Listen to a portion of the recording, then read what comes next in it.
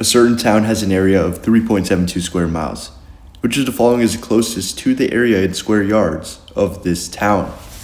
Okay, what we definitely cannot do here is take 3.72 square miles and multiply by 1760. We get our answer. There, we're done. Let's go move on to the next question. That's not how this works. The reason why is because this is in yards. This is not in square yards, and this is not in square miles either. So we have to work with the units that we are given, right?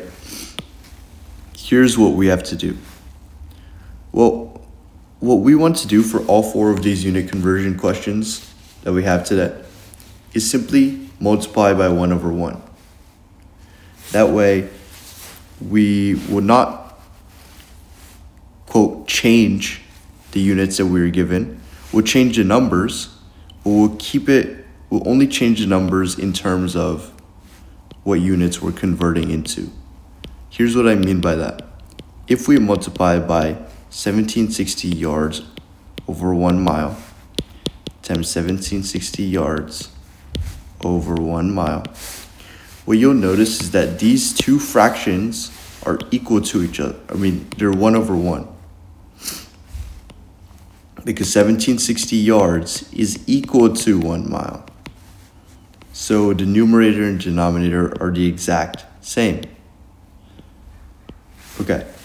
The reason why we did that twice is because if we were to multiply these together, what we're to get is 1760 squared yards squared over 1 squared miles squared. 1 squared just 1, obviously. What I want you to do is treat these as variables, these units. So miles, let's say miles is like x, right? And we have x squared in the numerator right here. We also have an x squared in the denominator. So the x squared cancel out. So just like variables, these miles squares will cancel out. What we're going to be left with is 3.72 times 1760 squared. I don't want to use the asterisk. Let's use parentheses yards squared, which then we can go into Desmos and desmos.com slash calculator. This is the calculator that you get on the SAT. So use it.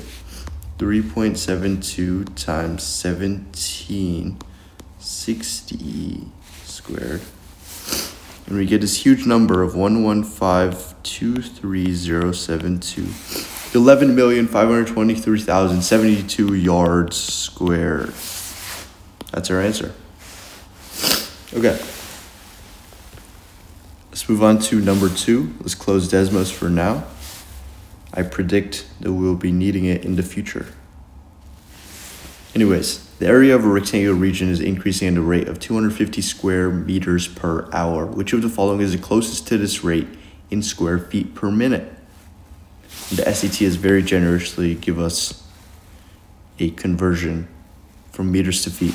250 square meters per hour, and we need to convert this into square feet per minute.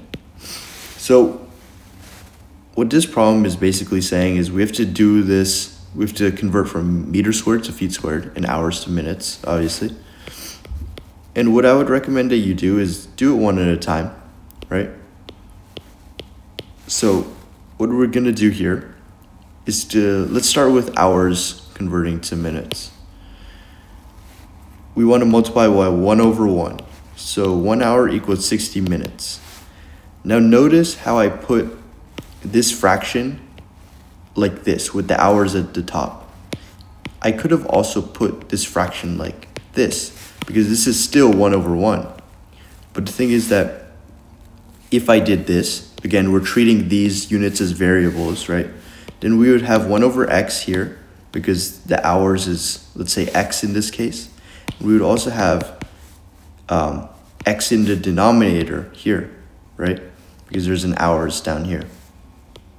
So we would end up with 1 over x squared. We don't want this. We want the hours to cancel out. That's why I was very careful to write the hours up top because we already have an hours at the bottom. And these two cancel out. Now, we can take that one step further. Since we already converted from hours to minutes, we want to convert from meter squared to feet squared. So let's do that. 3.28 feet over 1 meter times 3.28 feet over 1 meter because it's meters squared. So these meters cross out with that meters squared up top. 250 divided by 60 times 3.28 squared. What are the units we have left? We have feet squared. We also have minutes. Feet squared over minutes, which is exactly the type of form that we wanted. Feet squared over minutes. What is that equal to? We're about to find out. All right. You have 250 divided by 60 um, times 3.28 squared. Okay, 44.827. And this is in feet squared over minutes. That's our units. Okay. Wonderful. Real quick before we move on to number three, if you're looking for tutoring, the SATmath.com. Oh, there we go. Come. I'm giving away free tutoring to students that are looking for tutoring. Just go to thesatmath.com. I will tutor you for free. All right, number three. A rocket speed is increasing at a rate of 18.3 meters per second. 18.3 meters per second squared. What is the rate in miles per minute squared? Okay. Hopefully you noticed that this SAT question is trying to trick you by giving you very similar units, or at least the symbols for these units are very similar, right? Three of them have M's, two of them have MI's, right? You want to, I know this is a small point, but you want to be very clear with your handwriting. My handwriting is not the best, as you can tell, but at least I know that it's, it's legible enough for me to be very clear in knowing what I'm writing right? It's, it's almost like communicating with yourself. You need to be, you need to know exactly what, what you were thinking, exactly what you were doing, right? It's just going to help you on the SAT. How do we convert from here to here? Let's start with meters to miles. That sounds like the more simple one. Seconds squared times one mile over 1609 meters. The meters cancel out. And then we also want to convert from second squared to minute squared. So since there is 60 seconds in a minute, we're going to do that twice because we need minutes squared. Okay. These seconds cancels out with the second squared. So what we end up with is 18.3. Wait, it is not equal. There we go. 60, 18.3 times 60 squared over 1609. And this blanked out for a second. Okay. Miles over minutes squared, which is exactly the units that we want. Perfect. Let's go into Desmos. 18.3 times 60 squared. It doesn't matter what order you necessarily do this in because based on PEMDAS, this is all multiplication and division are the same priority, right? So 18.3, 60 squared, 1609, 40.945. Okay, wonderful. Let's move on to number four. This is the last one. And this is about density. Okay. The density of a certain type of wood is 820 kilograms per cubic meter. A sample of this type of wood is in the shape of a cube where each edge length is 0.6 meters. This is a cube. To the nearest whole number, what is the mass of the ki in kilograms of the sample? Well, we need the mass, and it's in kilograms, right? So let's say you didn't know that density equals mass over volume.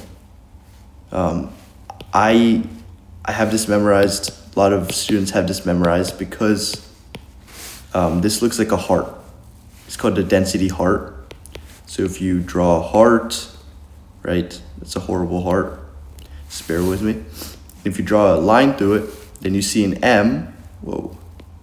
You see an M up top, right? And you see a V, and these two letters create a heart. And this line represents the division, right? So it's called the density heart. You can memorize density that way. You should have that memorized. But even if you don't, that's totally fine. Here's what we're gonna do. We don't necessarily need to know that for this question here are the two units that we have 820 kilograms per meter cubed and then 0.6 meters.